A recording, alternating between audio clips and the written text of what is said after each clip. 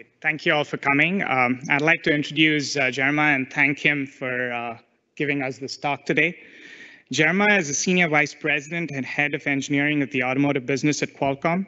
In this role, he leads teams that define, develop, and productize chipsets and platform solutions for telematics, connectivity, infotainment, and ADAS. Prior to Qualcomm, Jeremiah was a fellow at Texas Instruments, leading SoC and systems architecture for DaVinci media processors, optimized for applications such as ADAS, security cameras, security DVRs, video telepresence, and IP set-top boxes. Jeremiah holds a bachelor's and master's in electrical engineering from Missouri University of Science and Technology and has more than 20 patents in the field of media processing architectures. Thank you, Jeremiah.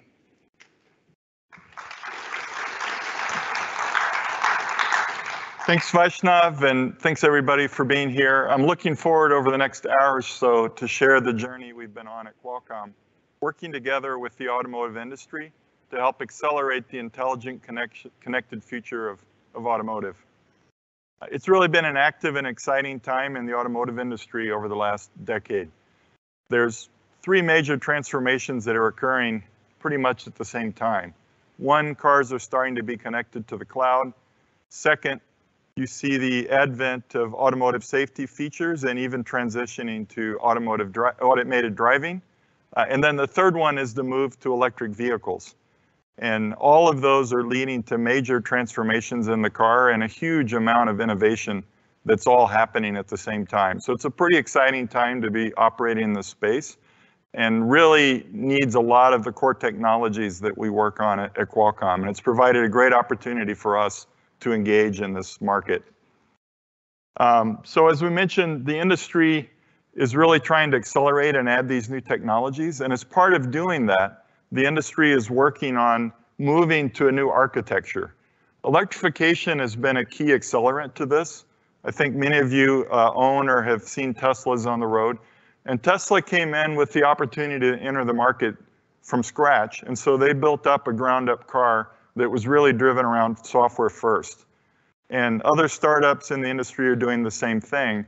So it's a huge time now for the more established auto OEMs to really work on transforming their vehicle architectures that have been evolved over many, many years around the infrastructure that was built up around combustion industries, uh, combustion engines. Um, the key to all this is really defining an architecture that can be more software defined. So the ability to update software, have software over the air, upgrades, and to innovate quickly. And semiconductors and advanced uh, processors are really a core enabler for these technologies because as you add more and more capabilities, you have to be able to do that within the affordability envelope of the mainstream consumer.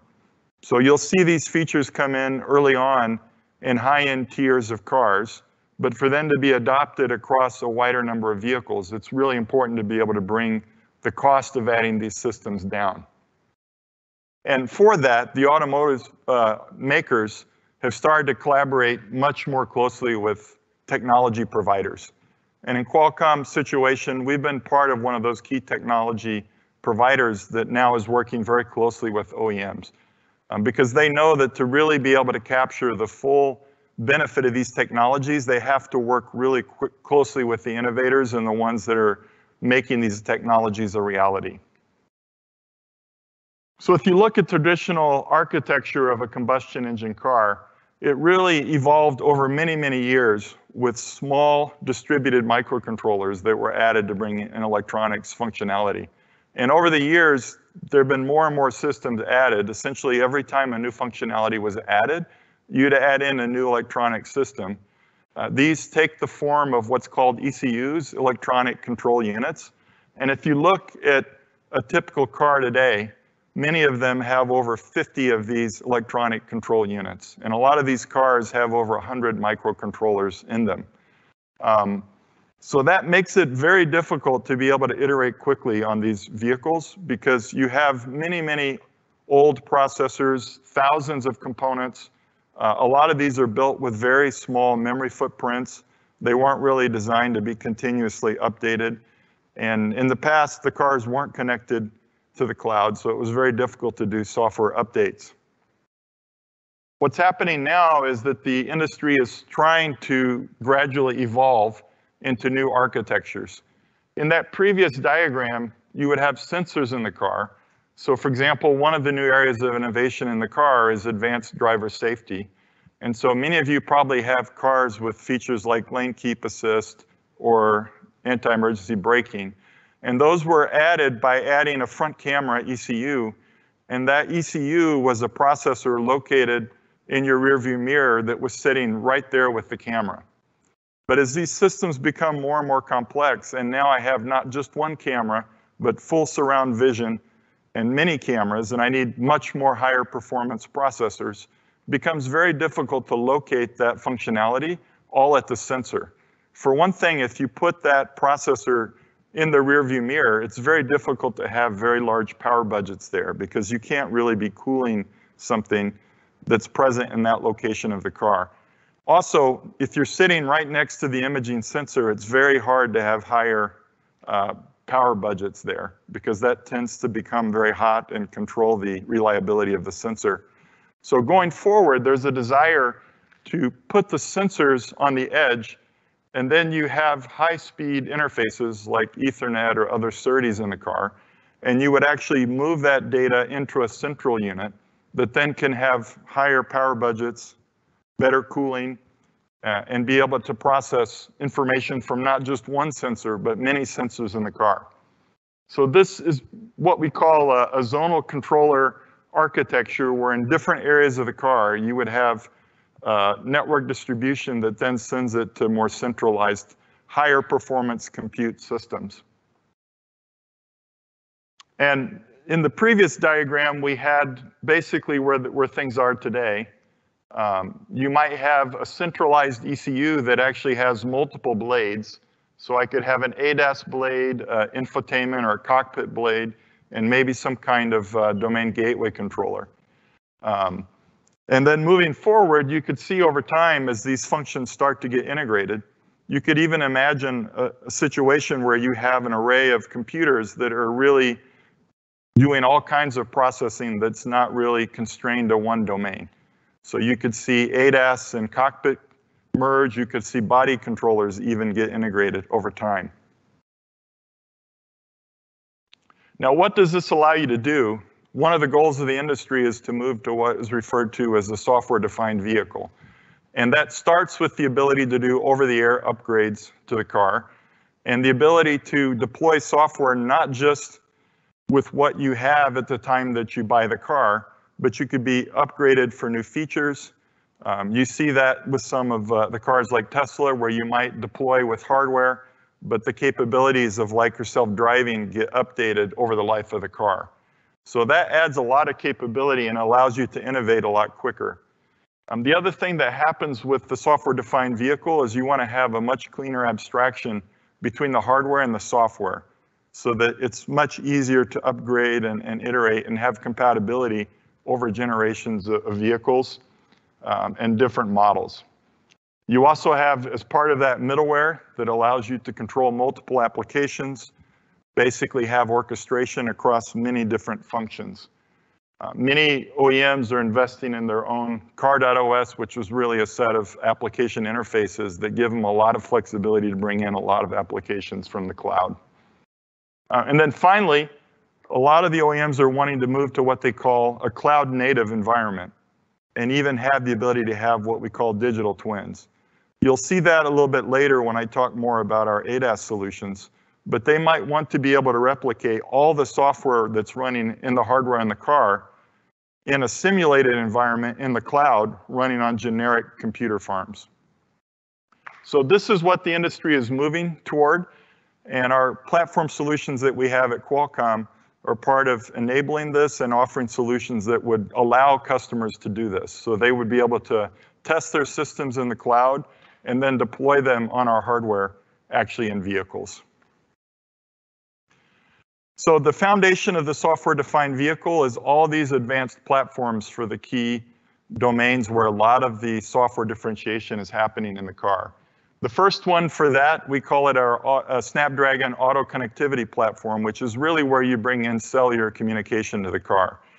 And those ECUs typically also have your Bluetooth connectivity, also Wi-Fi connectivity as well.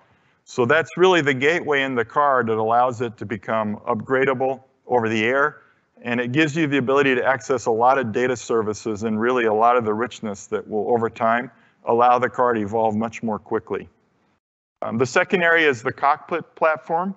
And the cockpit traditionally was your old infotainment system, which was really what gave you your radio, and then later it added navigation. Now it might add streaming media services. And over time, that cockpit platform became very powerful. It was driving not just the center display, but also your cluster. And we have systems that are driving now even up to 10 different displays off of one, one processor. Uh, and finally, the Snapdragon Ride platform is part of the capabilities that the industry's uh, offering in terms of driver safety functions and moving to autonomous driving. At Qualcomm, we've been able to come in and, and help support some of the innovation in these areas because we have a very rich IP portfolio across the company. We call it our One Technology Roadmap. Uh, one of the unique things at Qualcomm is because of the scale we have in mobile and some of our broader markets, we have our own custom IP across all of the core subsystems of the car. We do custom CPUs, we have camera IP, we have graphics IP, we have computer vision IP, and the strategy of the company is we get one large scale of expertise on these core IP platforms.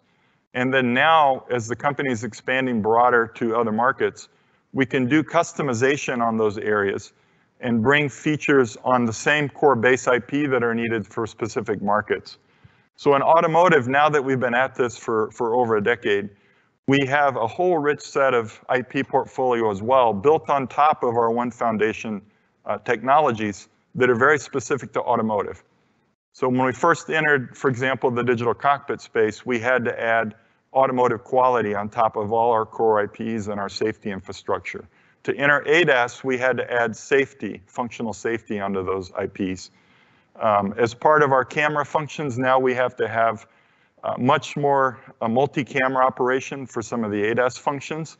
And we also have to offer 20-bit, 24-bit HDR to have the type of uh, uh, SNR that's needed to have high visibility uh, when it's dark and other features that are needed for ADAS.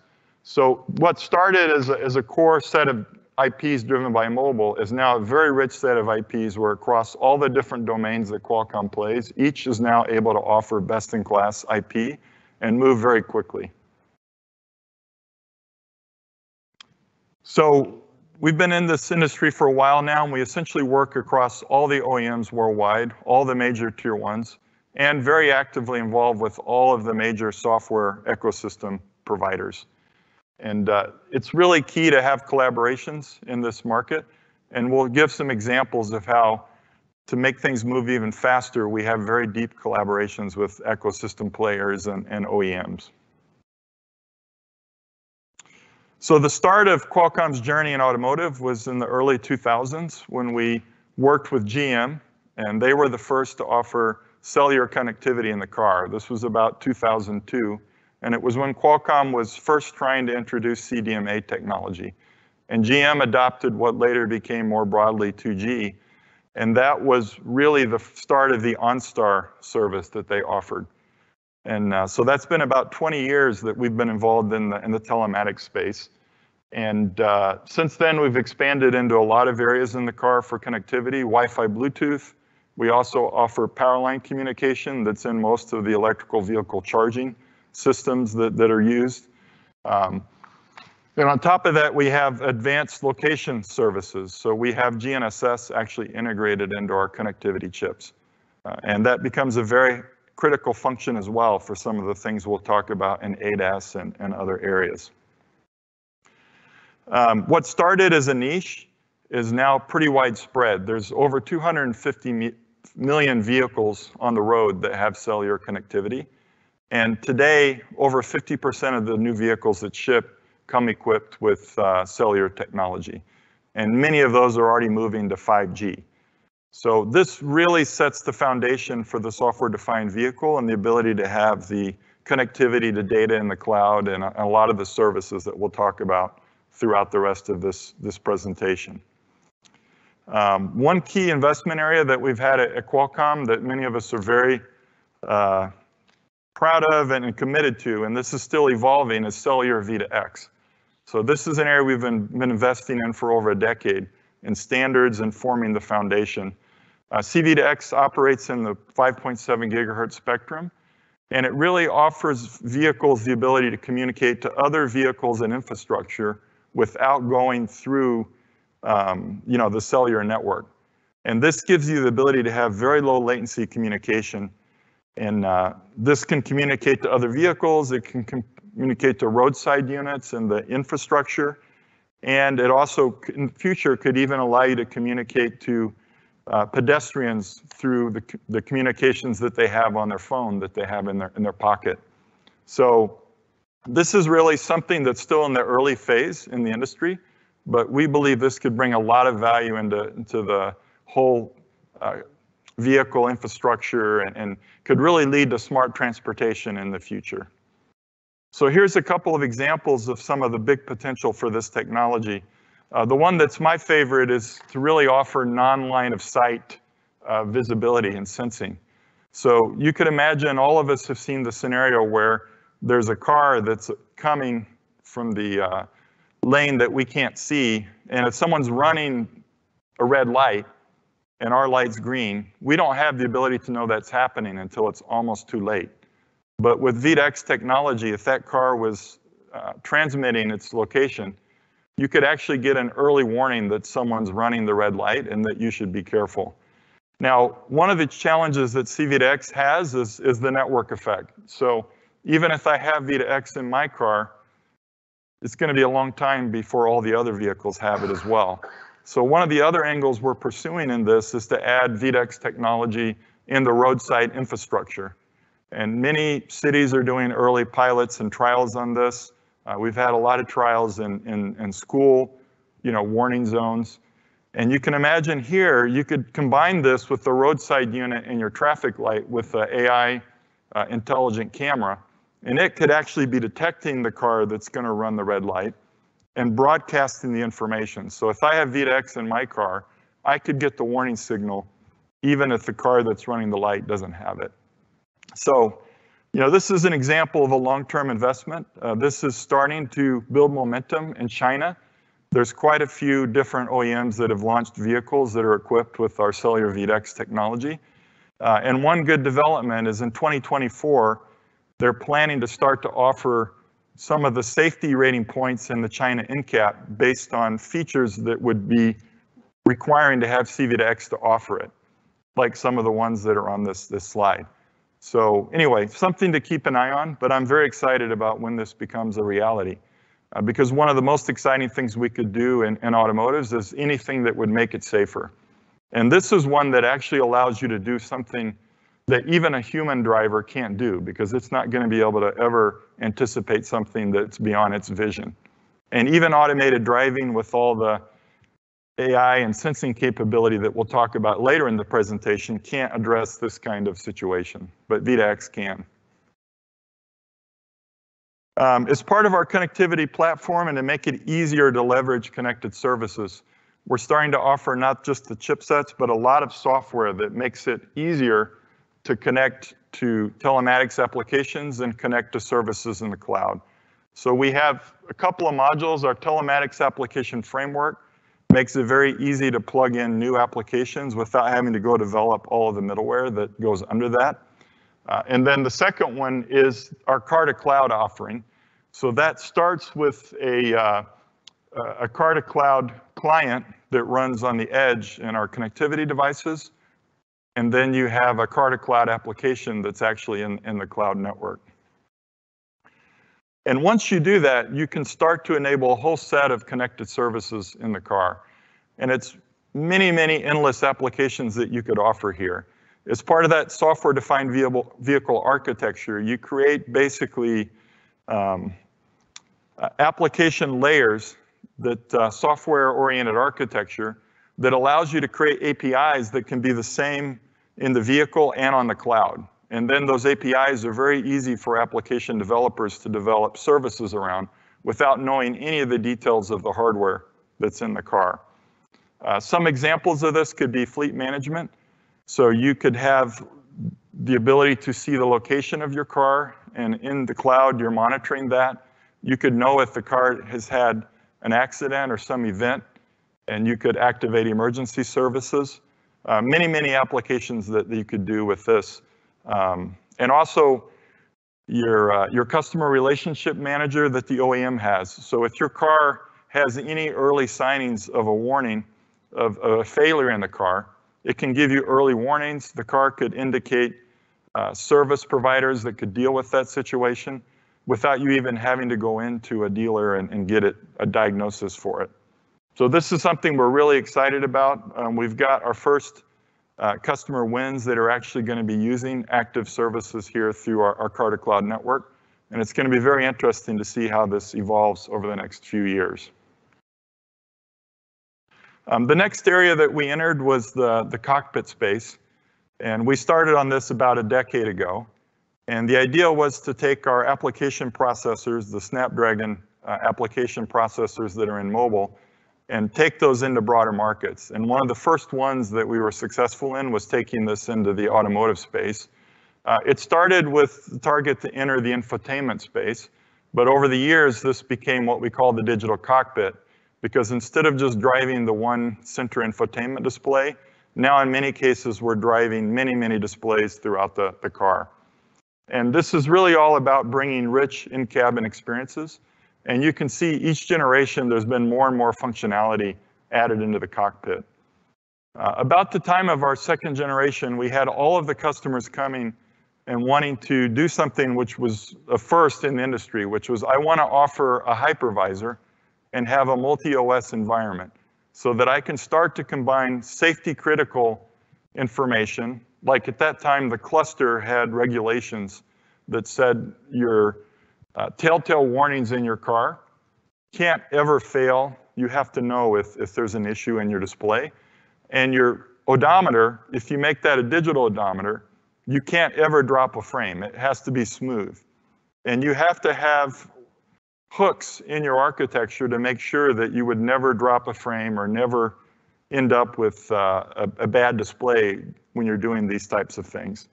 Uh, in the meantime, you wanted to still run on the same processor your infotainment workloads, which at that time were starting to move to Android environments and a lot of things that were much less hardened and you know not as reliable from a safety standpoint. So what we did is we, in our second generation, started to offer hypervisors, and this was very successful actually. And now we've been two or three generations now of doing this. And what it's allowed us to do is every generation we've integrated more functionality into that same cockpit platform. In the first generation, it was all about just giving higher resolution displays in the infotainment. Uh, at that time, even a VGA display in your infotainment was still uh, pretty high resolution. And we came in and started offering 1080p type displays. And uh, when we went to the second generation, this is when the hypervisor came in and people wanted to run the cluster and the infotainment off of the same SoC. Uh, that allows you to have richer graphics on the cluster, and it would lower the cost of having that high performance graphics in the cluster because you wouldn't have to offer two higher performance SoCs into the same car. Uh, the cluster was considered safety critical, so that was where we started to do the, the uh, hypervisor. So we had the hypervisor, and then we would have a QNX runtime, and then a, a Linux or an Android VM. And the surround view and your driver monitoring and some of those functions that would come in later, but instrument cluster in the first systems run on QNX, and then your infotainment would run on Android. And what we had to demonstrate at that time is that the Android could crash and you would never drop a frame on your cluster that was running on QNX. Uh, so this was really a breakthrough moment because it led to a whole bunch of integration in the future as we started to add more and more applications in, into the single processor. Um, in the next generation, we had already added the cluster, but then we added um, all-around view monitoring, which was your surround view. Surround view cameras originally came in as a separate ECU, but that added a lot of cost and it was only in high-end vehicles. Now we could add the surround view basically into the same chip and it becomes a much cheaper function to offer. And I would imagine most of the cars that you would buy today, that any of us would buy, would have surround view equipped in them. Um, AR HUDs was also a new feature at the time, so many of you have seen the cars where it will display on your windshield your navigation turn by turn. All of that is driven off of the same chip that's also driving the infotainment and the cluster. Uh, and then rear seat entertainment was an optional feature where you would have additional monitors in the back of your car for your children to play games or, or have other capabilities uh, for entertainment in the car. So you can see how this took at a time. We've had certain chips when we deployed them where that one chip was replacing nine different ECUs of functionality from the previous generation. And that's how you start to see more and more functionality added in a, in a mainstream car in the next generation, which would have been a much more expensive car in, in the prior generation. In the current generation that we're offering, our fourth gen, we've started to add even more capabilities. So with autonomous driving, a lot of cars add the driver monitoring integrated into the cluster. That's also something that in the early days was a separate ECU on its own. Um, and then in the future, we're now starting to talk how your basic in-cab capabilities for driver safety eventually could also be integrated in the infotainment system. And if you did that, that would become even more mainstream. Essentially, almost every car that gets deployed would have that capability. So here's some examples of different cars that have been deployed over the last couple of years with the cockpit system, just to bring it a little bit more to the real world. Uh, this is the latest uh, BMW i7, and you can see really large uh, center display and the digital cluster. And in the back seat of the car, you have a, a very large display that can be uh, downloaded. It, it, can move down where you can see it in, in the rear seat of the car. Uh, huge display and, and really, really cool feature in the, in the BMWs.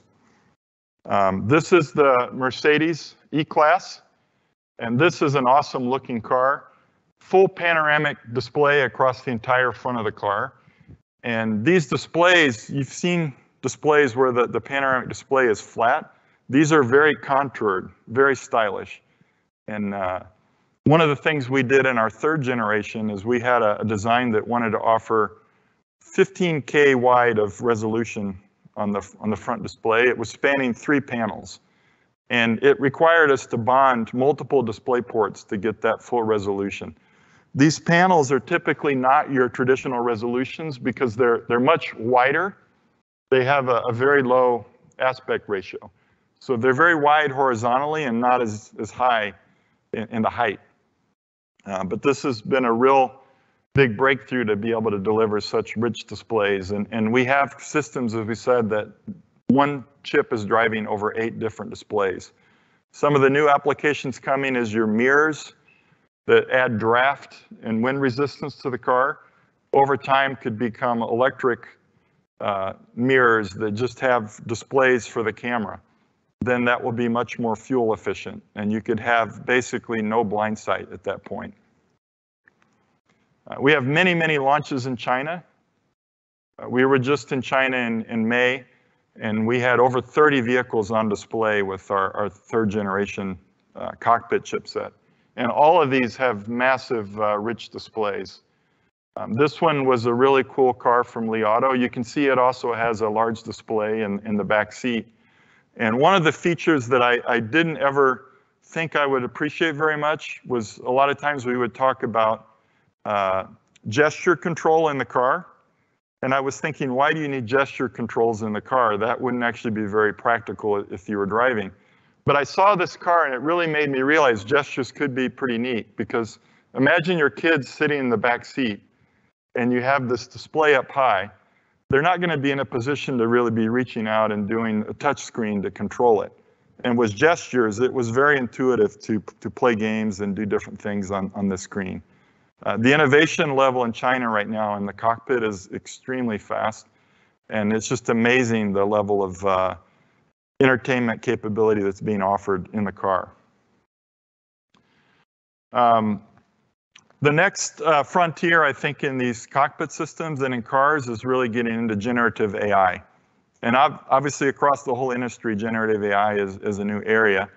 And one of the things that can happen in the car is really the goal to have essentially almost like a virtual assistant in the car. It knows all the context of what's going on in your car. It knows your daily habits. It knows your routines. It knows your calendar. And it can really be a bridge that does all of your scheduling and helps you very quickly react to things that you need to do in your day. Um, and a couple of different types of models, the text-to-text -text conversational AI. Uh, we're gonna be demonstrating Llama uh, with 7 billion parameters running on the edge in the car. And then we also have text-to-image with things like, like stable diffusion. Uh, but really what you want here is a whole pipeline and, and you need an orchestrator. So this would actually start with uh, natural language processing with speech to text so that you could just speak naturally to it. And then you would Im impose the text to text with the, the Llama generative AI networks. And your orchestrator can make all this interconnected with your calendar, your schedule, reservation systems, the ability to pay for bookings at a restaurant or pre-purchasing things at the grocery store. So we've got a quick uh, video that shows some examples of some of the capabilities that, that we could offer with generative AI. If the team can queue up uh, the video.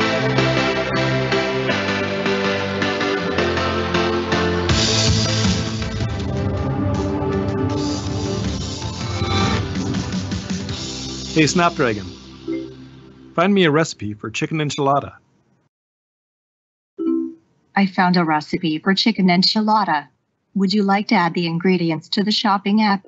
Yes. Okay, they are added and will be ready for pickup on your way home.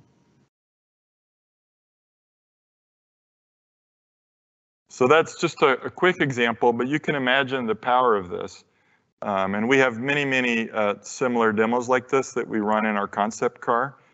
And uh, you know, it could even adapt dynamically. So I, I do a booking at a restaurant and I want to sit out outside and I create a reservation.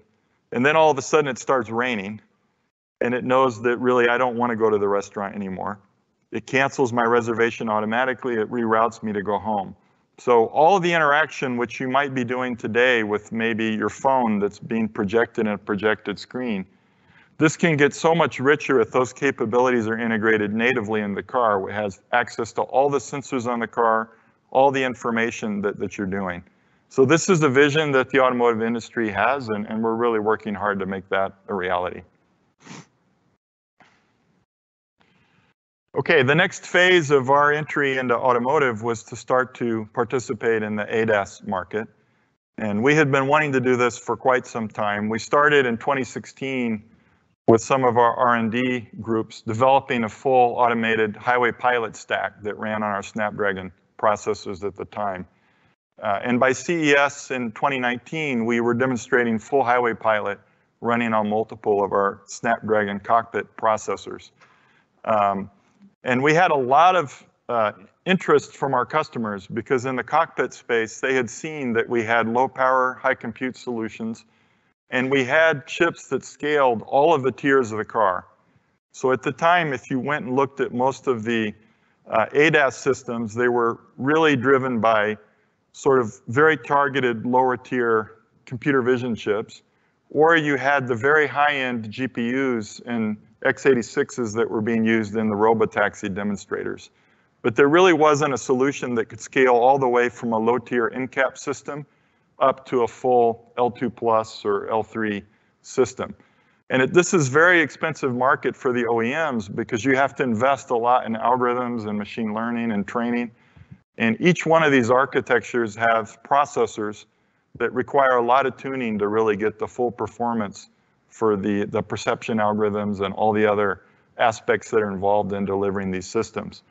Um, so one of the goals for Qualcomm in getting involved was to offer an open platform that had all the high performance for AI and machine learning, but it could be scalable from an entry-level system all up to the high-end system. And uh, so in 2019, we, we started working on this. In 2020, we got our first design win with GM, and we announced that we were entering. And uh, this was really, you know, the start of a, a journey that we're still on now. And we decided our strategy for this was to create a common architecture that could span both cockpit and the ADAS and autonomous driving applications because we saw that these would eventually merge. And there was a lot of commonality and both needed machine learning, both needed a lot of camera processing, both needed a lot of CPU. Um, so we launched what we called our Snapdragon Ride Flex SoC, and it's really building on that mixed criticality framework that we showed earlier, where we can have hypervisors, multi-BVM, a mix of safety critical and non-safety critical uh, functions.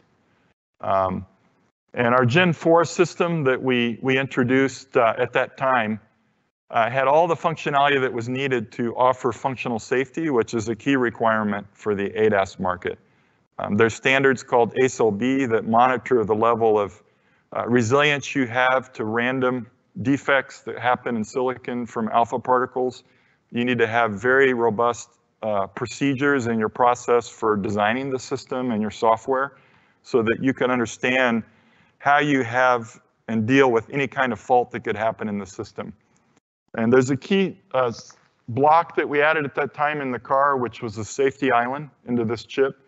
Um, this has lockstep R52 processors, and that block can actually boot independently of the main CPU on the device. And it actually serves two functionalities. It's an error manager, so all the other blocks have error reporting.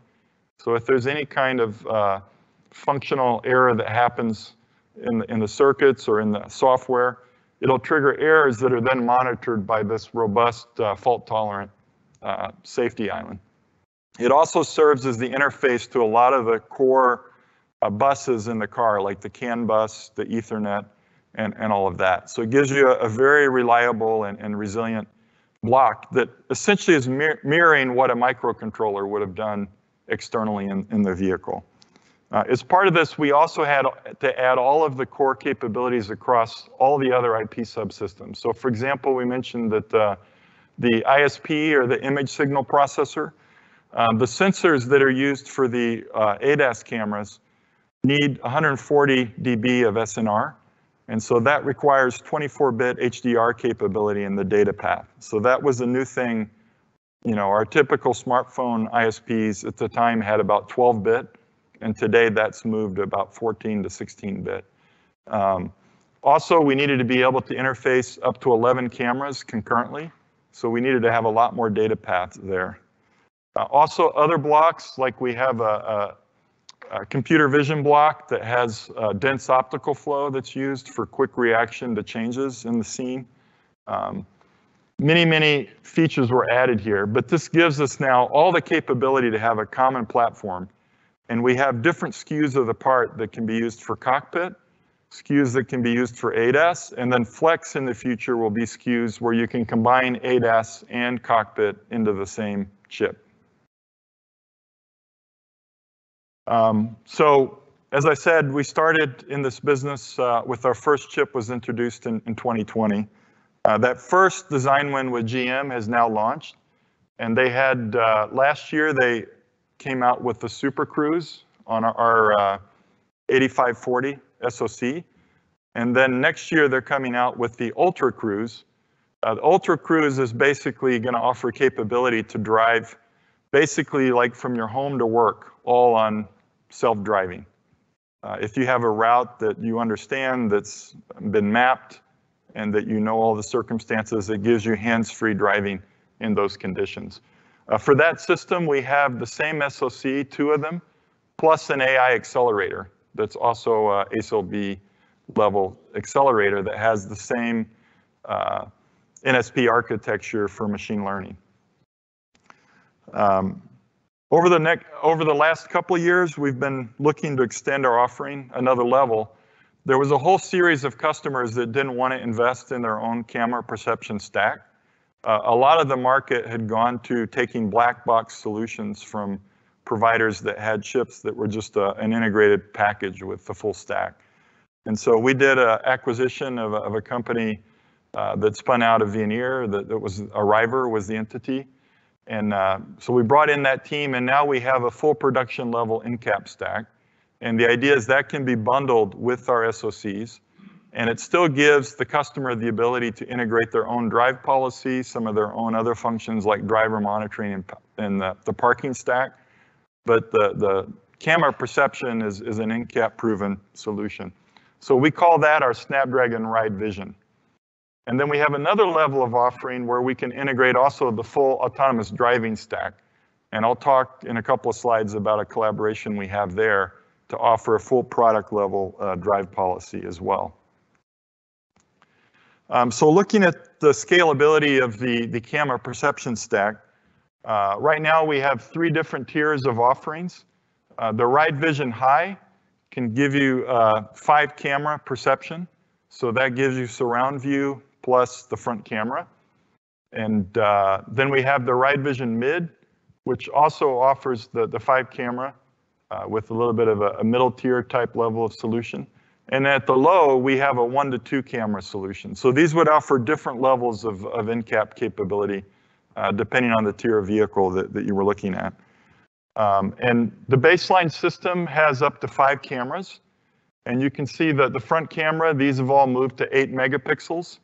Uh, the previous generation was typically two megapixel sensors, but with eight megapixel, it gives you over 150 meters of visibility from the front camera. So that allows you to run at higher speeds and react much quicker to, to oncoming traffic and any hazards that might be there.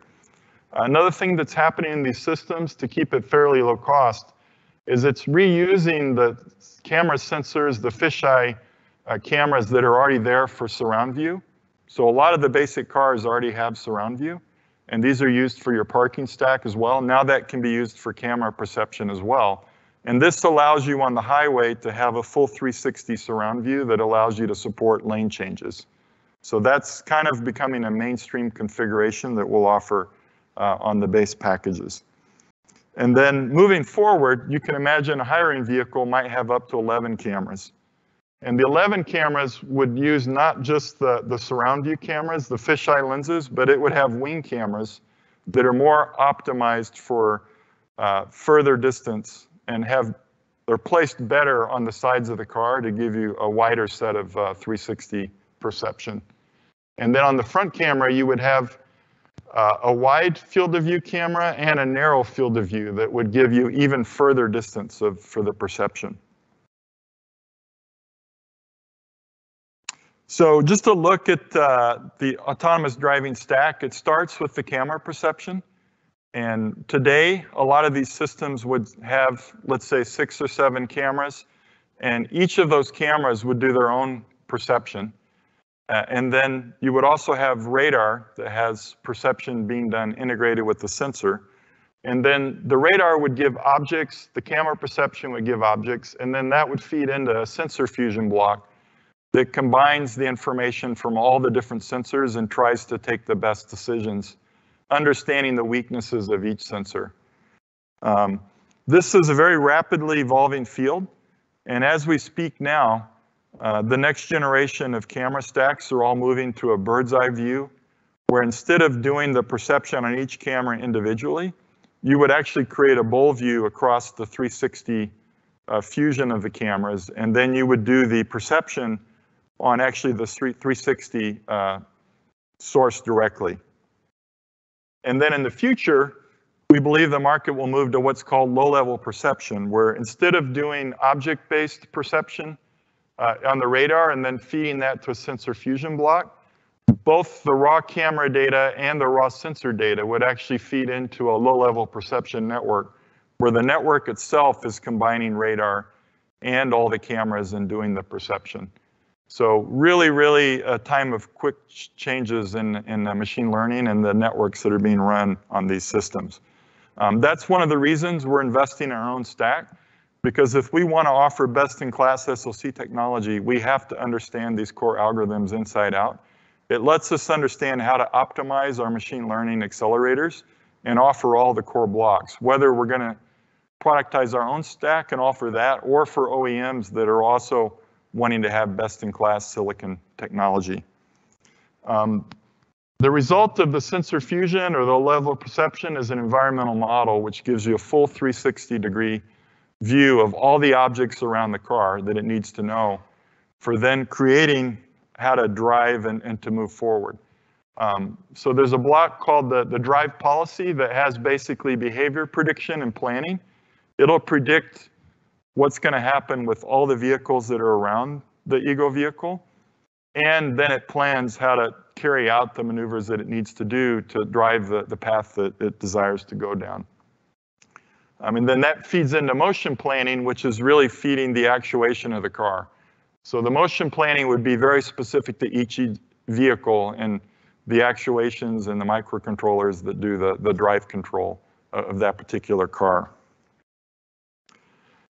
So this is a look at uh, the camera perception, a typical view of what would be happening on the highway. So you would basically detect the, the lane that you're in and, and mark that out so you know the path in front of you. It would detect all the vehicles and motorcycles and trucks around the vehicle. Uh, it would detect the lanes and you could have bounding boxes around the cars. You can see it knows the, uh, the distance to each of the vehicles. Um, and uh, so this would be the output of the camera perception. It also detects all the traffic signs. If this was an urban environment, you'd be detecting all the pedestrians and, and all those areas as well. Um, the radar is powerful because it has a much more accurate depth perception. And with the Doppler, it can also detect very quickly the change in acceleration of the vehicles in front of you.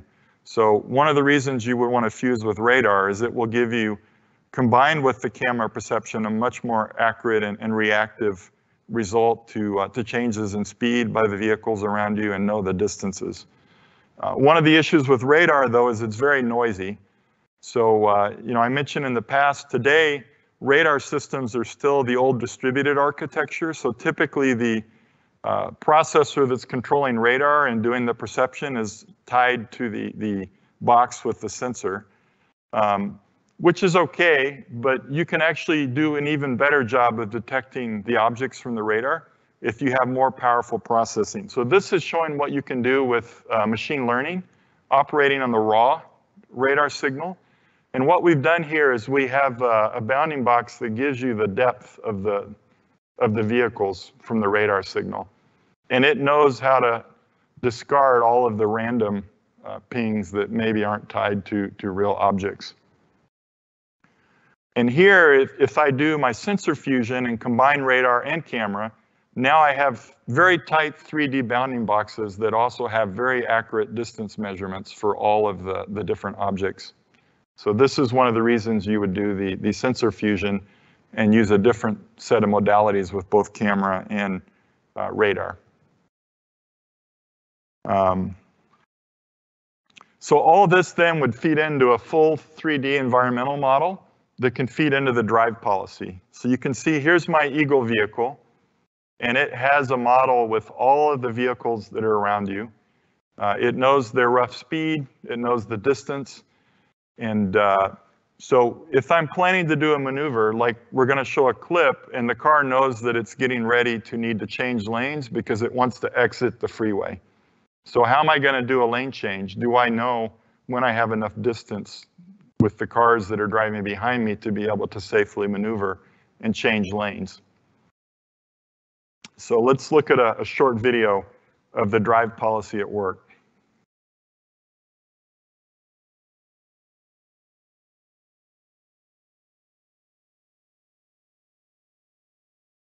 So here's my free space, and I'm detecting the sign for the exit that I want.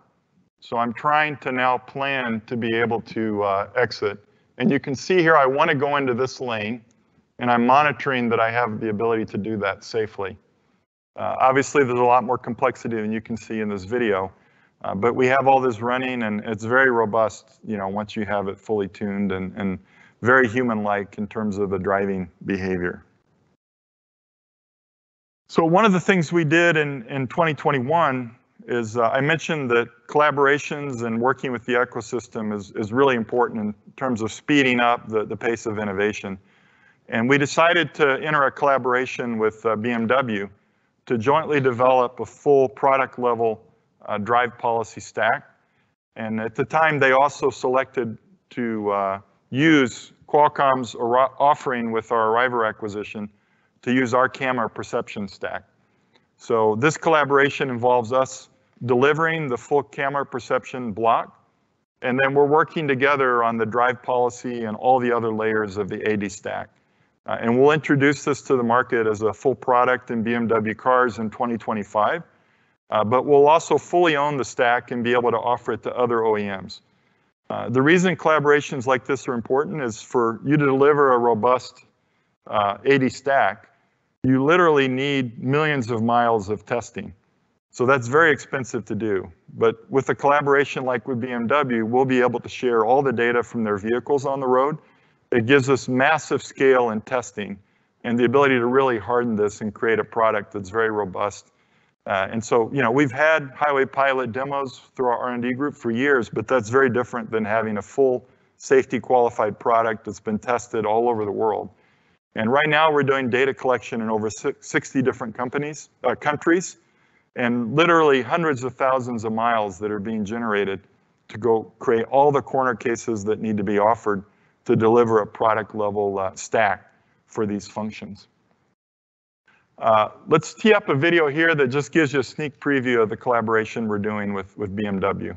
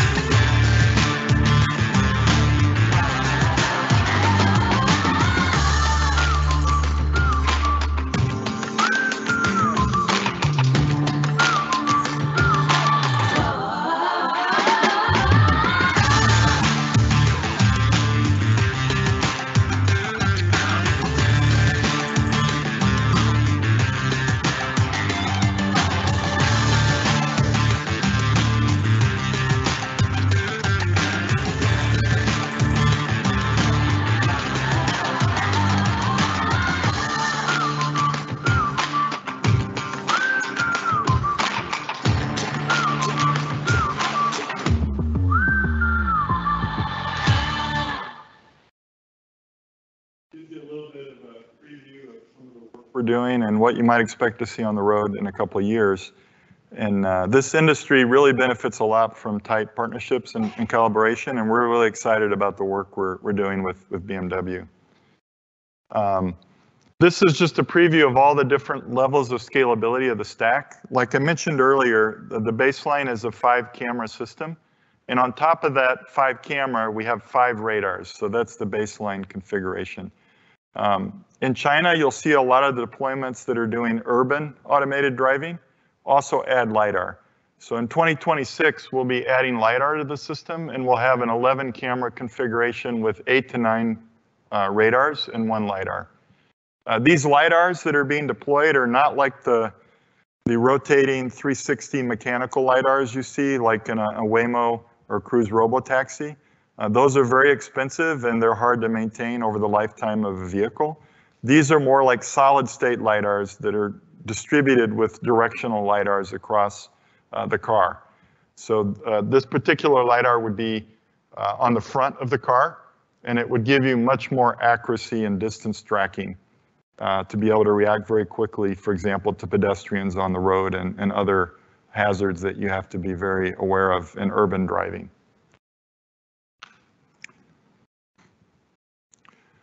One of the, the big key things about this whole market and uh, machine learning in general is it's all about data. Uh, and I mentioned the massive amounts of data collection that we're going to do to deliver a full product level data stack. Uh, and what's happening is that's really driving the need to have some of the attributes I mentioned earlier, uh, the digital twin, you know, the cloud native.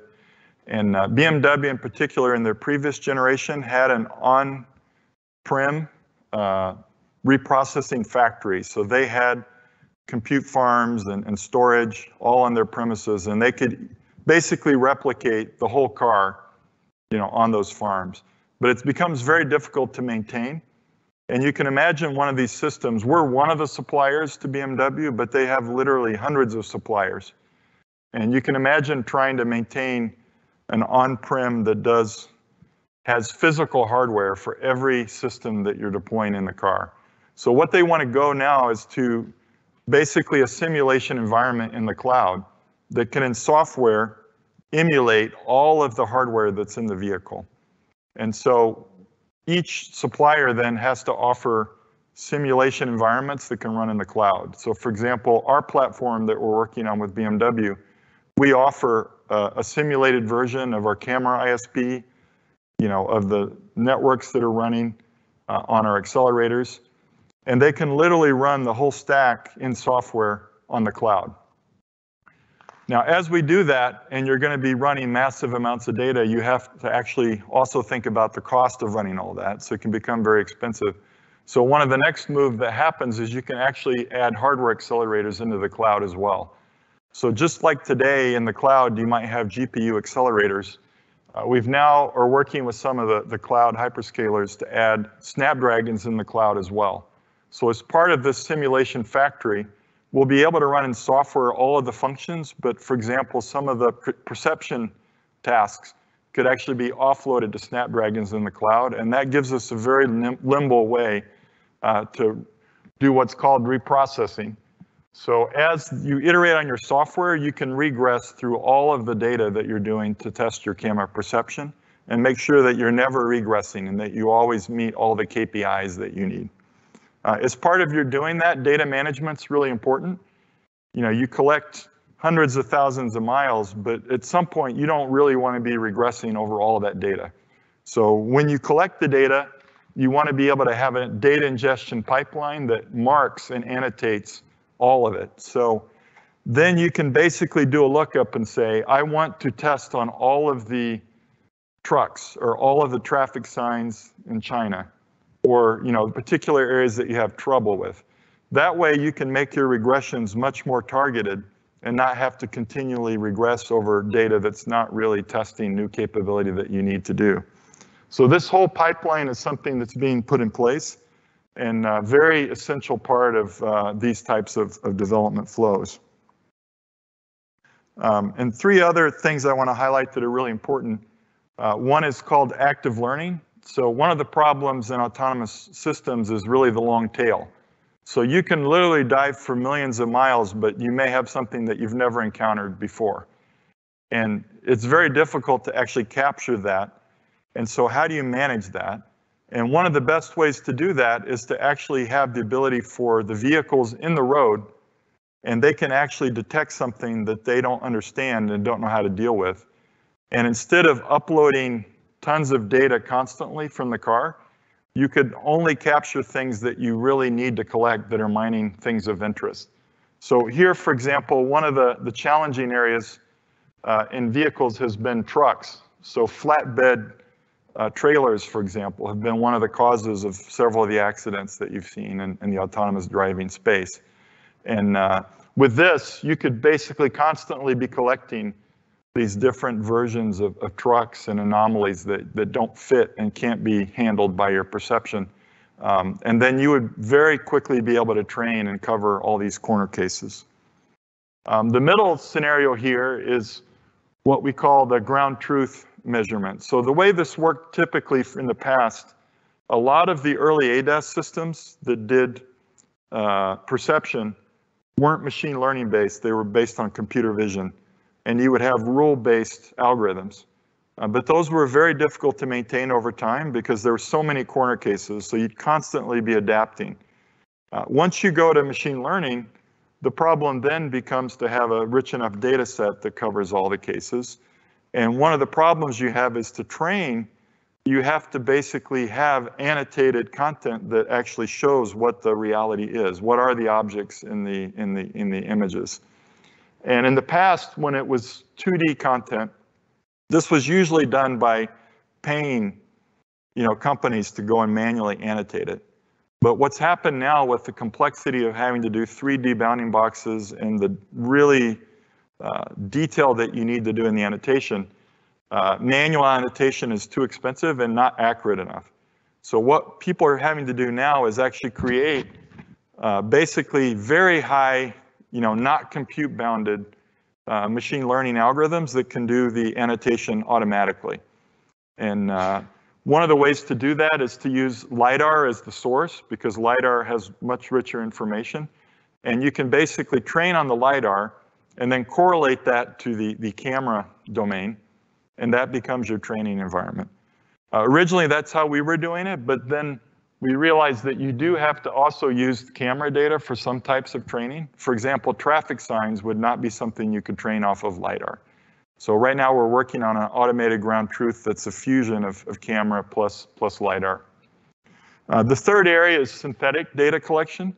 So a lot of the companies are using this now. So if you had to train, especially your drive policy on the road, that's very challenging to do because there's so many corner cases and you really can't afford to be on the road until you've robustly tested all the corner cases. So we have simulation environments that can take and trigger all kinds of different corner cases.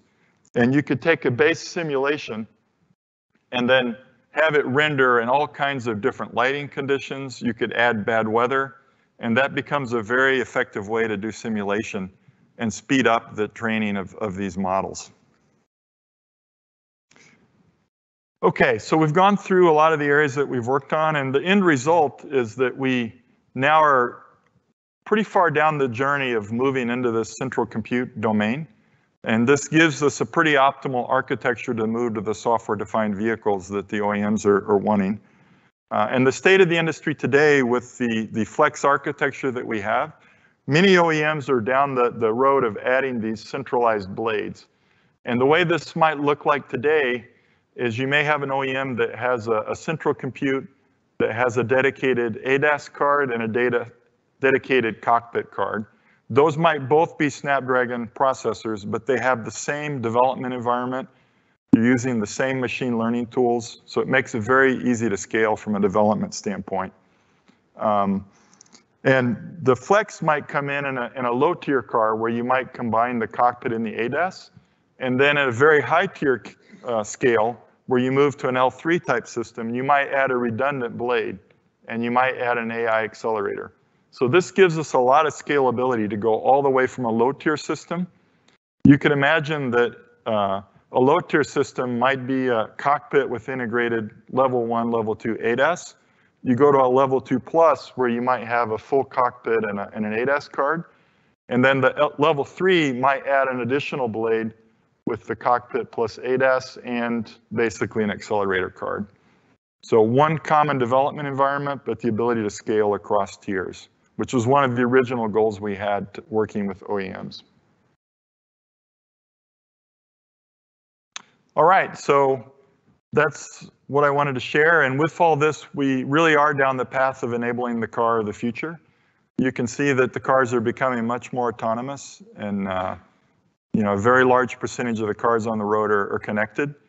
And it's really exciting to see how this will happen. And I think all of us enjoy driving these new cars that have these rich experiences. And you should expect that there'll be a lot more continued advances, you know, over the next several years.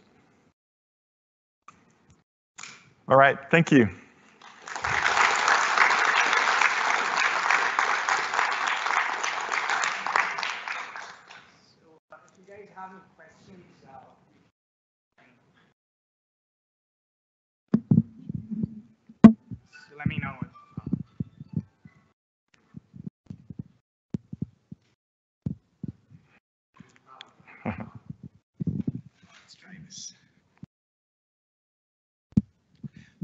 One of the concerns I had with, is this on? Yeah.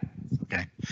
Uh, one of the concerns I had was, or, or I'm just wondering about, is the development cycle for releasing cars, new models of cars, since it's so tied to software development and the quality and reliability of it and that sort of thing.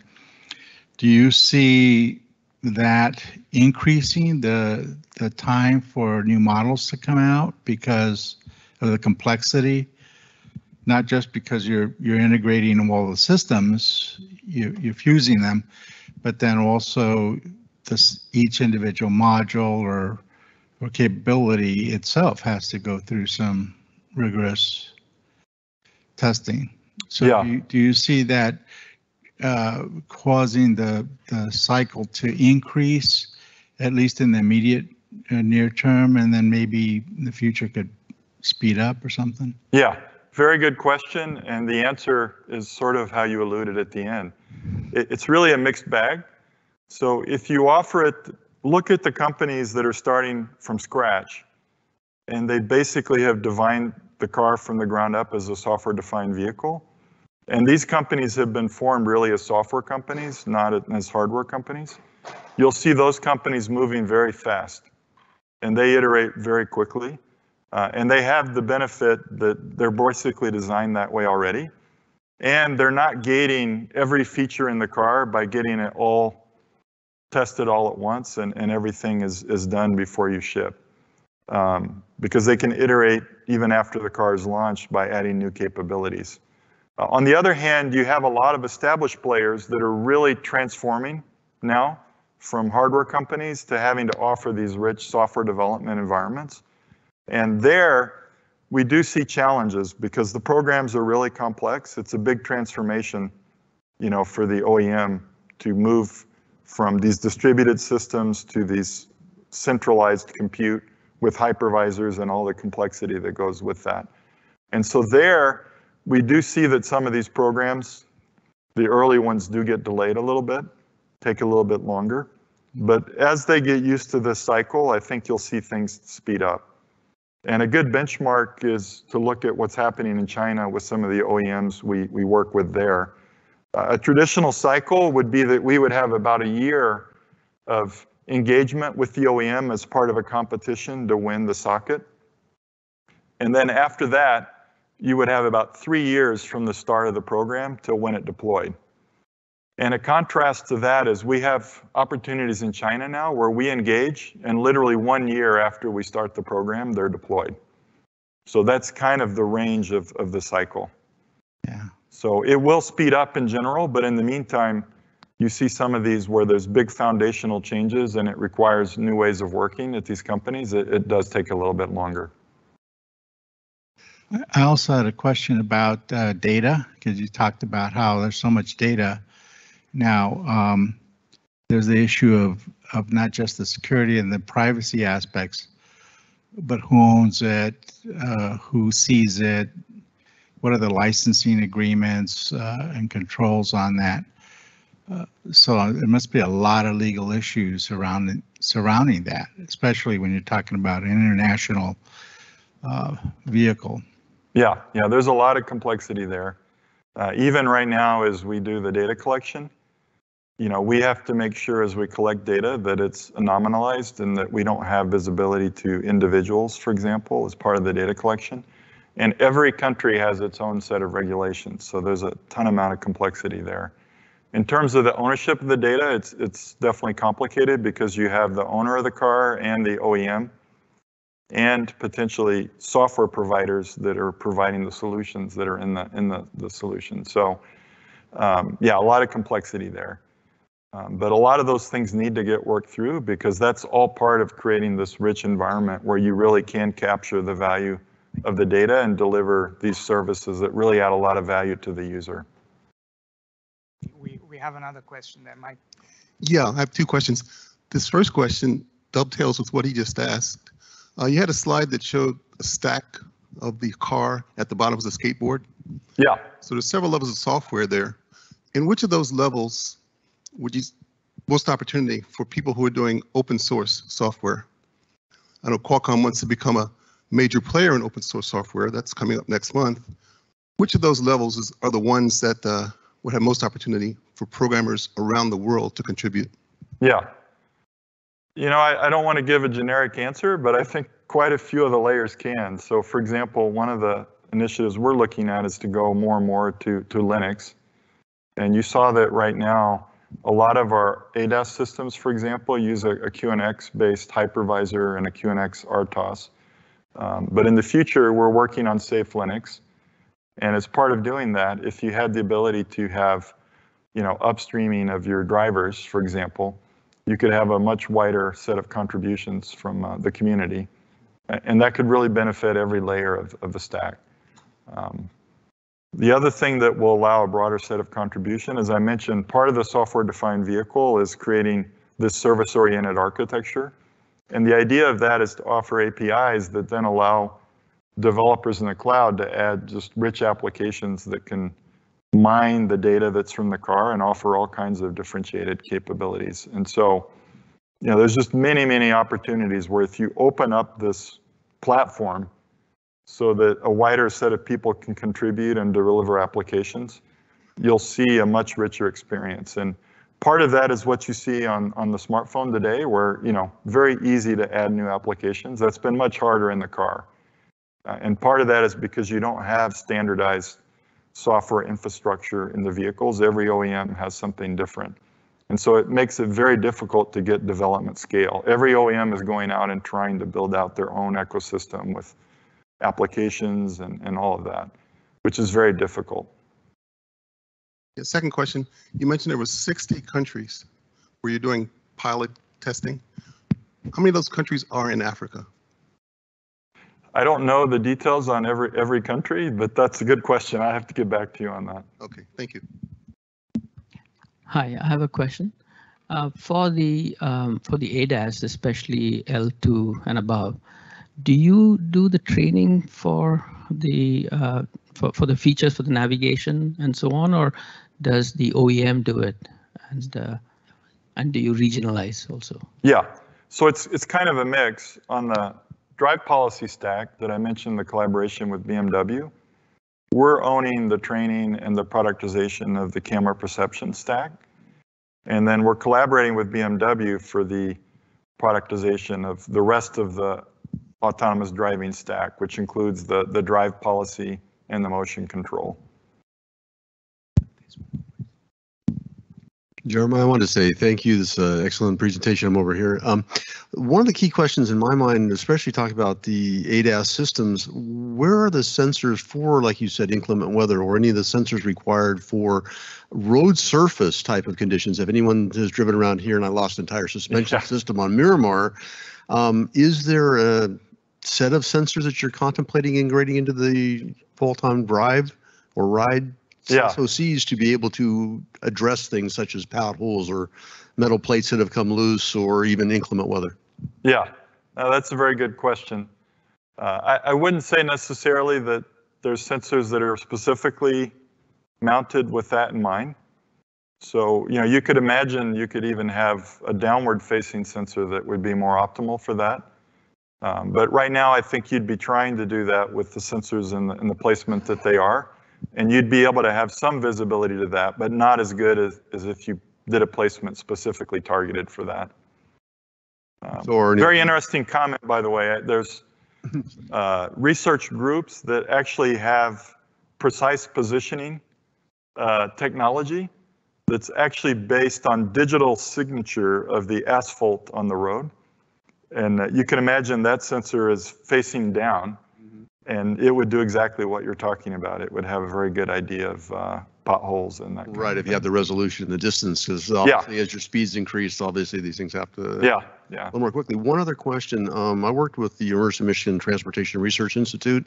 Um, is there a lot of these safety features being driven through that process whereby the, the safety features are quote unquote qualified like you would for any SOC?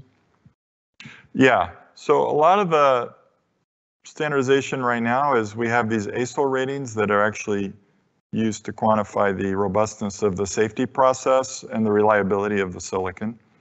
Um, and then the system design. So does your stack architecture have comprehended all the corner cases and does it have ways to mitigate error conditions that, that could happen? Uh, in terms of unifying autonomous driving and all that, it's, it's really mostly the Wild West out there right now. I mean, there's a lot of initiatives. I think if you follow the news, you know, there's a lot of consternation. What do we do about this stuff? Is it regulated enough? Uh, that'll have to play itself out. Uh, but really, there isn't a lot of regulation. There is some, like, for example, when we started our highway pilot, we have to have a license with the state of California. And we have to basically monitor the disengagements. So every time we drive, we have to be logging and we have a safety driver. And if there's any disengagement, you know, we track that. Very good, thank you.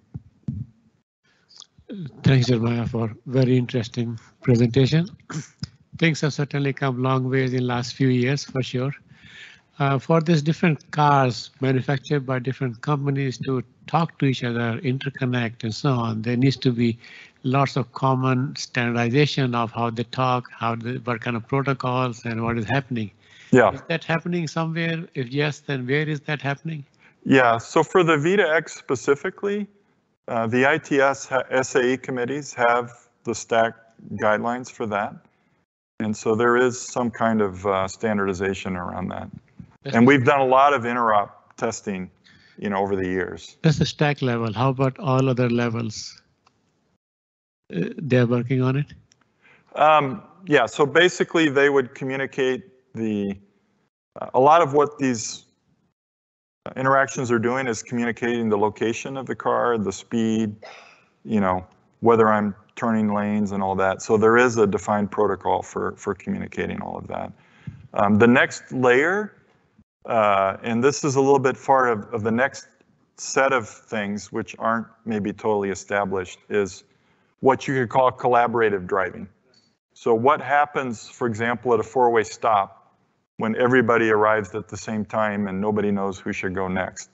So, you know, there's early standardization on those collaborative driving, but that's a little bit more in the early stages. Okay, thank you. Uh, so thank you very much for um, giving a great talk. Um, as a co-host from the Co- Communication Society, I'd like to thank you again. And apologies, I was a bit late. I have work to do to get in here. But um, so you gave us good insights on what's happening around this uh, sphere inside the car. But the real upcoming time schedule changes around the car are the um, the transformation to all electric. And so it, could you give an insight? Will you be able to have a follow on to telling us actually how soon those changes are going to come? Because those changes are mandated in many regions, right? You have to do that. Uh, all all this stuff on car safety, it's all good, good engineering, good all that, but th- there's strict requirements on energy and power. And then obviously the other one from the last talk was we have all this communication data. Yeah, how's that going to turn out? Yeah, yeah. So the electrification pace is obviously different around the world. Like I mentioned, uh, we were in China in, in May, and there it's happening at a very rapid rate, partly because there's large government incentives for, for the electrification. And, and there you actually see that the electric cars may be even cheaper than the combustion engine. And so I believe in the recent sales, over 50% of the vehicles being sold are electric. Um, you see much slower adoption over the other regions, uh, partly because in the US, for example, an electric car still costs quite a bit more. Uh, and that's a big barrier for, for some people. Um, on the other hand, the electric cars, as we've seen, have very advanced features. They're much more software defined to begin with. So I think it's just a matter of time before you'll see uh, a speed up on that.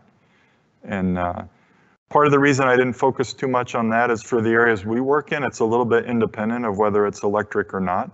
Uh, but the electric cars do bring certain changes as well. So for example, if you look at the really high-end features of, of ADAS, uh, it used to be in the past that, you know, uh, power budgets were a big issue and, and people said, you know, no way I'll ever use liquid cooling because in a combustion engine, that would be a big adder to the car. Uh, but in an electric vehicle, they probably already have liquid cooling already to begin with. So that becomes a very natural extension. Uh, and it becomes much easier to add really high compute with larger power budgets. So that's one area where we're seeing some interplay with some of the things that, that we're doing. Um, but it'll be interesting to watch and uh, it definitely will, will depend region by region on what happens in terms of incentives and you know those types of issues. Great. Uh, follow-on question. So uh, the other one I like to see from you guys later on, it, uh, this is great in 2D, automated, but as we move to aerial, so the other open space of development is aerial vehicles, right? So uh, if you can save that one, that'd be another. Okay, Because weight matters, right? yeah, Weight matters. So all this engine is great, but uh, with all the metal you throw around it, but when you have to lift, yeah. yeah, absolutely. Good question. Has has Qualcomm considered a thermal imaging night vision for adverse conditions or even road conditions, as the question was asked previously? Yeah, Like certain, um, you know, road conditions like metal plates would definitely stand out with a different uh, heat signature compared to asphalt. And Yeah. Even look through snow. As far as thermal imaging sensors for, for night vision and all that, uh, there's obviously been a lot of companies that have invested in that. And uh, the issue right now is we really haven't seen the proliferation of that enough where it was uh, became cost effective enough that it, it really gained scale. And one of the issues that's been happening at the same time is with the high dynamic range CMOS sensors. Those are actually starting to do much better uh, in low light conditions as well. So, so far, we haven't seen really any major mass adoption of, of the thermal sensors, you know, in, in the mainstream cars. Is is a cost issue that you mentioned that that, that is a primary uh, factor would be cost. It's, it's one of the factors and really just the, the scale of production and, and all those issues. And the fact that uh, as the CMOS sensors get better, uh, most of these systems are able to run fairly well with, with the standard imaging sensors. Hi, do you think um, wireless charging of EVs via roadway is coming anytime soon? And what do you think are the major challenges of that? Is that mostly power distribution problem or, or smart car coordination with the uh, powered system or? or what? Yeah. Yeah, I don't have too much visibility on that to, to comment, but, uh, you know, obviously Qualcomm had a acquisition in wireless uh, charging before and, you know, not one that's gotten wide mainstream adoption, but let's see how it plays out, you know, over time. Thank you. Let's uh, thank Jeremiah again.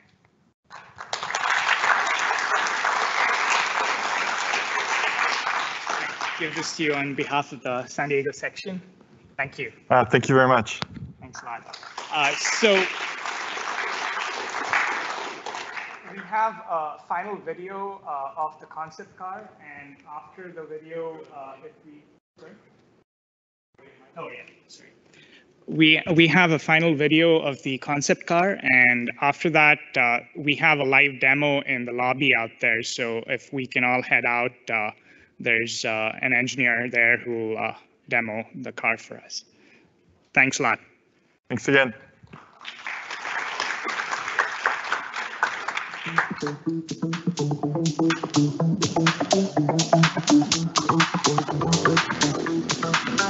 This is our Snapdragon digital chassis concept vehicle, and we're showcasing the technologies that we have for automotive here. So the first thing that happens is it's scanning my face right now, and then it's going to load all my preferences based on my driver profile. So you'll notice the lighting changed, uh, my seat position was adjusted, and it also played my favorite genre of music, which is all loaded in the driver profile. This year we partnered with Unreal Engine, which is a 3D game engine, and they've really uh, enhanced our UI to a whole new level. So you have things like this drive mode here. Uh, now, maybe if you switch from comfort to sport, that's reflected in the UI. Now I've opened our climate app, and you can either adjust it with touch or by voice. Hey, Snapdragon. It's hot in here. decreasing temperature by 4 Fahrenheit. Now I'm going to open navigation and set the car into drive. What you're seeing here is a video we recorded here in Munich with one of our vehicles we use for autonomous driving. You'll notice that on the cluster we have some 3D objects. What's happening here is we've taken all the sensor data and all the objects that our vehicles can detect and we're rendering it in 3D on the cluster so that you can line it up with a video and see all the objects that we're detecting. Now with that, I'm going to get started with my day. Hey Snapdragon, what's my day look like? I see a reminder for your brother's birthday today, plans to cook for the neighborhood kids tonight, and you have a doctor's appointment in 30 minutes. Looking at the traffic. You need to start driving to your appointment. Do you want to? Yes. By the way, I see a business dinner tomorrow at 7 p.m. with Knackle. Would you like me to help with this? Find me some restaurants nearby. Here are several restaurants. Show me only the ones with outdoor seating. Here are several restaurants that have outdoor seating. Make a reservation for four people at the second one. I made the reservation for four people at Caruso 6 p.m. So what you just saw there was our uh, one of our generative AI demos, which showcases uh, our integration work with their software. And now you can uh, search for POIs and also also filter it down to more preferred options like outdoor seating, places with a nice wine list, etc. So another thing we like to show people is uh, our connected services demonstration. So maybe you have an error code in your car, such as an AC system performance warning. Not only can you search for service stations nearby through the cloud, but you can also make appointments to have your car serviced. Next, we're going to go on a little tour of the city. Hey, Snapdragon. Enable tour mode. I have created a route with three places to drive by. Glyptothek History Museum, Toy Museum Munich, and Hofbrauhaus Munchen. While driving, I am drawing a unique image and pulling up a short description about each one of them for you. Finally, we like to end the demo with something fun. So I'm gonna put the car into park. And now that we're safely parked, I'm gonna open up our video game. And we can enjoy our full screen video game, taking over the instrument cluster as well.